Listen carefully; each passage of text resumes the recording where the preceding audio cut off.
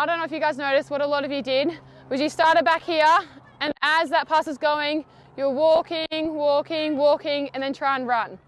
If you were that passer in a game, do you think you'd pass the ball if you saw a defender right here?